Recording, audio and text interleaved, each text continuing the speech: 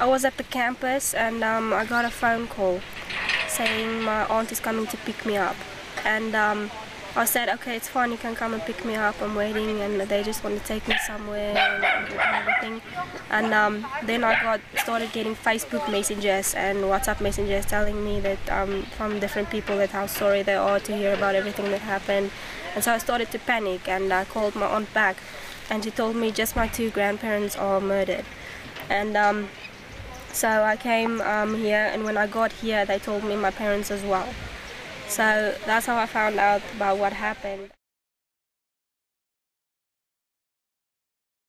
I'm sad and I'm angry. I'm very, very angry about it because you don't just do stuff like this. You can't just go to someone's farm and just start shooting them and taking their stuff and also you don't do stuff like this. They were very, very good people. All of them. They were trustworthy and kind and they were the loveliest people on this earth. Mm and now they're gone.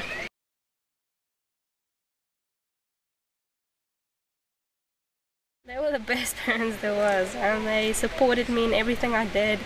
They taught me very, very well. They raised me extremely well, and to be my own person and to be like them in a way. You know, like I have, I have so many parts of them in me, and um, you know, they, they were my life.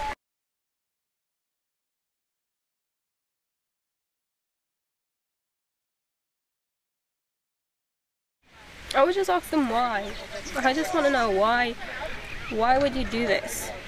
And then what is the purpose of doing this? Do you enjoy doing this or do you just feel like you wanted to do it? I would just ask why.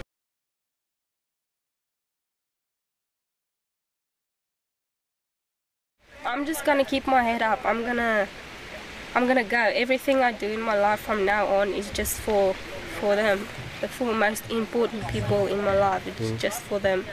So it doesn't matter what I do, everything I do is going to be for them.